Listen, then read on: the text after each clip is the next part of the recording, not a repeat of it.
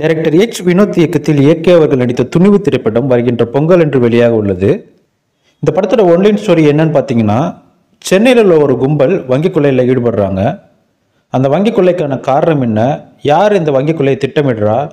அதை பின்புறத்திலிருந்து இயக்குவது யாருங்கிறது தான் இந்த படத்தோட ஒன்லைன் ஸ்டோரிங்க ஏகே அவர்கள் இந்த படத்தில் ஒரு மாறுபட்ட கதாபாத்திரத்தில் நடிச்சிருப்பதாகவும் சினிமா வட்டாரங்களில் பேசப்படுகிறது.